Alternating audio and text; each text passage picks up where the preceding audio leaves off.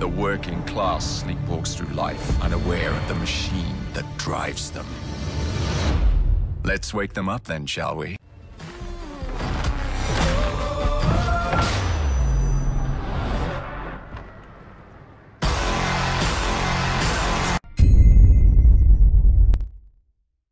Hello everyone, Punchnuts here. We got more confirmed facts for Assassin's Creed Syndicate coming from GamerGen.com.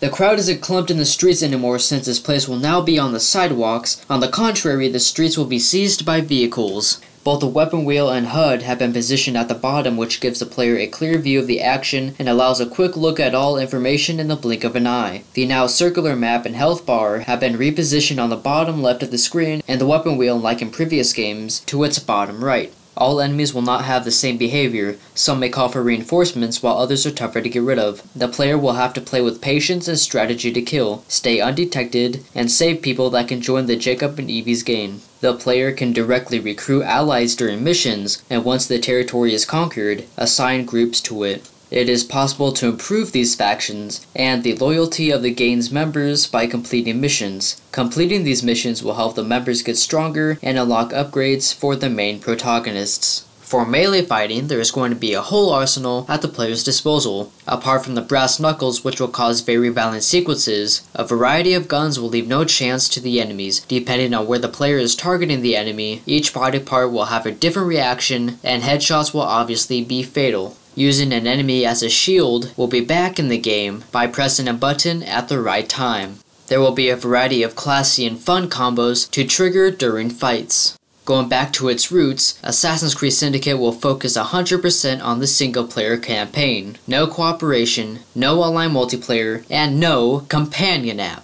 Going down from the list, I think that it is quite cool that the pedestrians are now on the sidewalks and not in the streets because of vehicles, but I wonder if they'll cross the street every now and then to get to the other side, but we'll see. Now that the weapon wheel and HUD are positioned at the bottom, it's a circle again, so nothing new there is just a repositioning of the HUD, weapon wheel, everything we've seen before. I love how enemies will have different behaviors. I believe the police will call for reinforcements and the gains will be tougher to get rid of as it explains here. I love that patience and strategy is needed to get rid of these people. I love that it forces you to use stealth because if you get detected, the gains will kill people. You can join Jacob and Evie's gang. So Assassin's Creed seems like more of a stealth game than combat, even though it wasn't like that sometimes in previous games. I love that there is a reason to use stealth in this game. I love how you can recruit allies during missions. That is really cool and is not just an open world thing. And I love how you can assign groups to territories. I'm not sure if games will try to take them back, which I think will be really cool if they do, add more things to do in the open world. I love how you complete certain missions and the player gets upgrades, and so does his gain. This seems like something very important to do in the game to upgrade your character, Jacob and Evie, and the members of your gang, which will definitely be useful in the long run. I love how there will be more to just the brass knuckles and melee fighting, but something that really surprised me is that you can shoot an enemy anywhere with a gun, and that certain part of their body will react differently. And I would just love to see someone just get shot in the leg and just beg for mercy, even though that sounds kind of bad, but it would be really cool to see, in my opinion. Something that really surprised me that was making a return was the enemy shield that was introduced in Assassin's Creed 3, and I think that was the only game that had it. I'm not sure if Black Flag had it. I mean, I don't think so. But yeah, that is quite interesting that it's back. Now that I think of it, Unity could have really had that, because when you're fighting more than like three enemies, everyone then tries to shoot you. So now that we have enemy shields back, from a press of a button we can just take an enemy and cover our backs from gunshots. So this sounds really useful and I'm actually really glad that this is back in Assassin's Creed Syndicate. I'm very glad to hear that there will be combos in this game, classy and fun. Jacob looks really classy to me, so to hear that classy combos are in this game is going to be really cool, and I believe combat will be very fun in this game. So I thought cooperation was pretty good in Unity. It didn't really bother me too much that I wasn't back in the Syndicate, but I'd rather have them focus on the single player campaign than online multiplayer or cooperation. But something I am very glad to hear is that the companion app is not returning in Assassin's Creed Syndicate. Oh my god, I don't want to begin to explain Unity's crap with that. Leave it for another time, probably won't even talk about it then, but still, I'm just very glad to hear that a companion app is not going to return for Assassin's Assassin's Creed Syndicate. But yeah, this is a pretty good list of information for Assassin's Creed Syndicate. I am very interested to see what you guys think about it. Leave your questions in the comment section down below. Please subscribe for everything Assassin's Creed, Hitman, Doom, and other miscellaneous videos, and I'll see you guys later.